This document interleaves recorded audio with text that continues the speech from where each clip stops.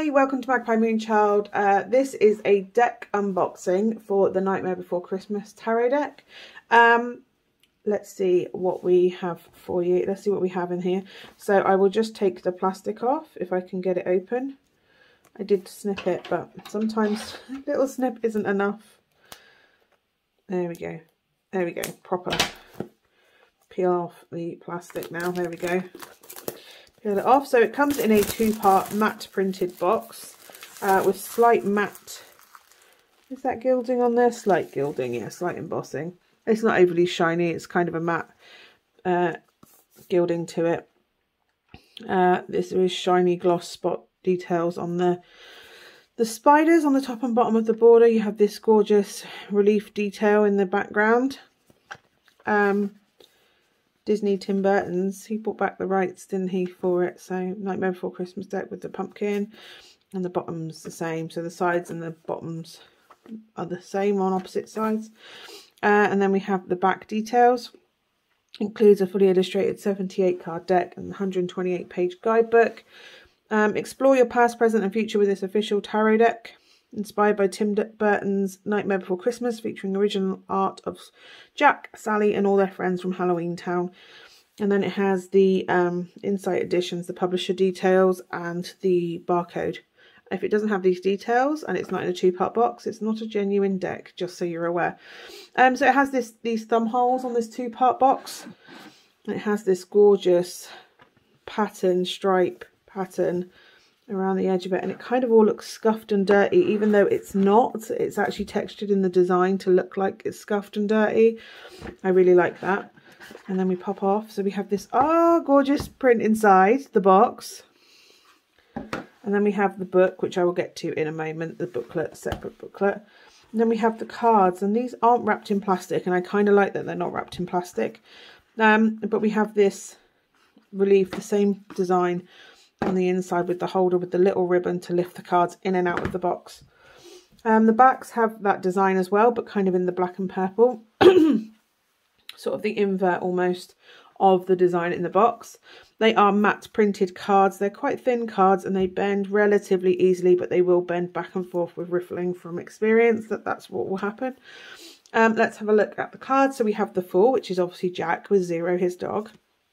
Uh, the Magician, the High Priestess, the Empress, the Emperor,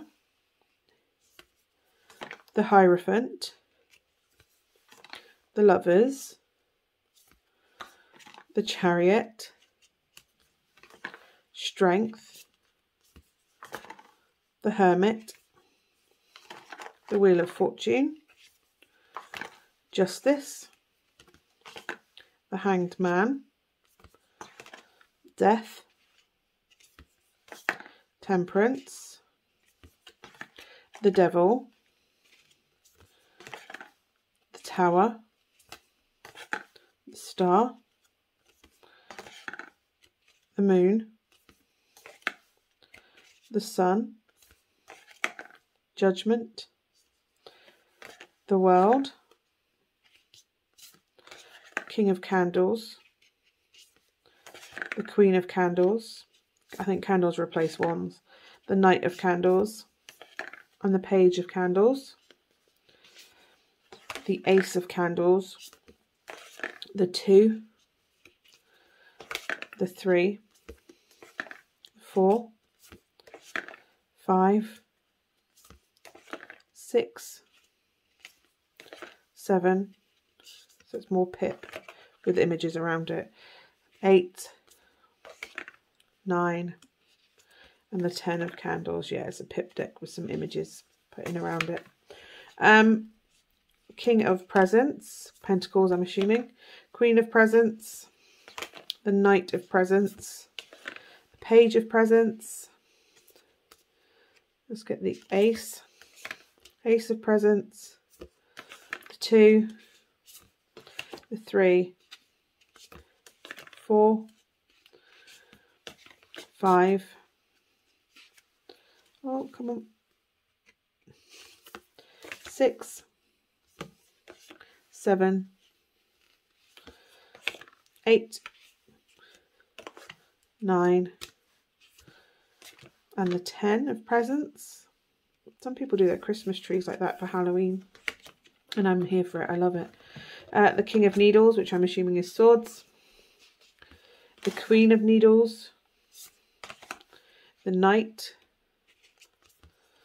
The Page. The Ace. The Two. The Three of Needles. Definitely, yes, it looks like the Three of Swords. Four of Needles. Five. Six seven, eight, the nine, and the ten of needles. And then we have the King of Potions for the King of Cups, the Queen, the Knight, the Page, the Ace, the Two, three, four, five, six, seven, eight, nine, and the 10 of potions. I do like the artwork. It's a pip deck rather than a actual physical meaning. Don't get me wrong, some of the images in the lower, in the minor arcana pips, um, they do have images in there to kind of go with the meaning, but they are very much, um, to me, pip artwork rather than full artwork. Um, like some other decks. Um, yeah, they riffle together pretty well. Just going to do it one more time the other way. So that I've done it in equal amount each way. And there's not they're not overly bent out of shape. Um, obviously that end bit doesn't really count because I just pulled that extra twice. Um, but yeah, they riffle pretty. They riffle really well. They want to go together. They want to to play. Um, handover, they shuffle really well. They don't clump. I know they clumped in the beginning, but they were just cut. You know, they're brand new out of the box. They are gonna stick a little bit where they're forced together with the when they cut out. But um, they're really nice actually. You can you can easily get them apart. It's not they're not clump they're a little bit clumpy, but not anything that isn't going to wear off with use, if that makes sense. The more they're shuffled and played with and pulled apart in different directions, the more they're gonna um, go apart. They're not sticking together, they're just in that initial staticness between each other. I love that, the page of needles.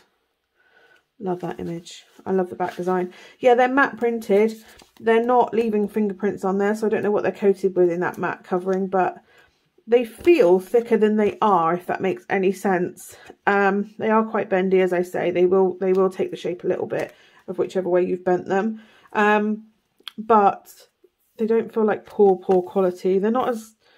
For the price, they're good quality for the price that they've got. They're traditional tarot size and for the quality. Whether I would say the images necessarily match up, this is the trouble with film and TV decks. Whether the the the characters and the choice of images has been matches up with the true tarot meaning of the Rider Waite system is debatable. But as if they went with Rider Waite, they might have gone for another system. But maybe Tarot de Marseille. But from my point of view, they don't always. This is the trouble with TV and film ones. They don't always marry up with how people the energy of the card necessarily. They've kind of taken a square peg and shoved it in a round hole often in some of these decks. But um, I mean, overall the images are, are, are nice. They are, um, it's good for any fan to have in your collection anyway. Um, so we have the Nightmare Before Christmas Tarot Deck Guidebook written by Minerva Siegel and illustrated by Abigail Larson. So we have the inside pages. Obviously this is with Disney, so um, anybody who's selling fraudulent decks is potentially running the risk of Disney, the wrath of Disney on the back of that. We have the contents. Then we have the introduction. Understanding your tarot deck. Um, so yeah, they did change them. Potions to cups, candles to wands, or wands to candles, sorry. Swords to needles, and pentacles to presents and it goes into the major arcana. I like that this is a coloured book. Full colour picture. That's really good. Uh, the title, a description, and then the upright meaning and the reverse meaning. And the same for the Magician. They're all colour ones for the Major Arcana all the way through to the World. And then we go into the Minor Arcana. I do like the colours in this booklet. And then we have the suit of candles. So it has, it does have a full image, but it has its, uh, each one has a page rather than the two pages of the major. Uh, King of Candles, upright meaning and reverse meaning. There's no kind of other description for the card. Uh, and that goes all the way through the suit. So it goes uh, King, Queen, Knight, Page, and then it goes Ace to 10 uh, for each of the suits all the way through. Let's go through the potions and then we get into tarot readings. Uh, and then obviously it describes that caring for your deck, preparing to read tarot, the spreads, uh, peek behind the Cyclops' eye, blown to smithereens, meant to be. Is obviously one of the positions in Blown to Smithereens. And then about the author and about the illustrator. Um, and then obviously all the production details, the print details, and then Sally and Jack on the back in a spider web. I I like it. I do like it. Whether I agree with, like I said before, agree with some of the the images chosen for it. Um, for the price point, the cards are good. I don't know if I thought that they put a slightly higher price point and put in better quality cards. Um, but I like it. I like the deck. I like the deck. I know there are a lot of fraudulent copies out there that people are selling. Um, even for the cheek of selling them at the same price as the um, authentic decks, which is terrible, to be perfectly honest. Um, so yeah, that is a look at the Nightmare Before Christmas Tarot deck and guidebook. I hope that has been of some use to you and hopefully I will see you again soon. Bye for now.